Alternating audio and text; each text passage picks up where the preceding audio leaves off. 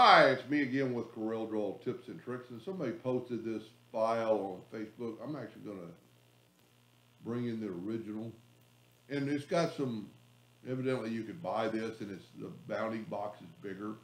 So what I'm gonna do first, I'm gonna take it and I'm gonna get the crop tool and I'm gonna crop out just what we need. I think it's gonna save a little time in Corel, then I'm gonna make it quite a bit smaller. We're not gonna do anything special to it, we're just gonna go to bitmap trace, or trace bitmap, outline trace clip art. And it's already done. Now, if you look, there's some white, well, you can't see it yet, we'll put a bounding box around it, make it yellow, put it to the back of the page and you see all the white. So, there might be some stuff that's gonna break away. This thing is uh, less than four inches, so we're gonna set our nest factor for four. And we're gonna go and go to object and group and ungroup it.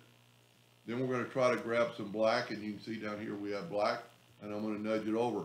So like I thought, we had a few pieces don't, that didn't go. So we can move those over. Not that it even needs it. And those might not be black. You, you can see they're not, but we can make them black. I think that's that other piece. You could actually select, I'm gonna get rid of this white, so it won't ever interfere again. And it's really pretty sharp. Uh, these feathered out, uh, pieces, you know, I, I don't understand why whoever drew it drew that leaf into there. There's a little bit of a hiccup right there, but you could grab the shape tool and you could actually maybe delete that node and, and get a little bit crisper. You know, it, I think it traced it pretty good. And, you know, we got some little bit of a broken off tail here. Let's look, see what that looks like.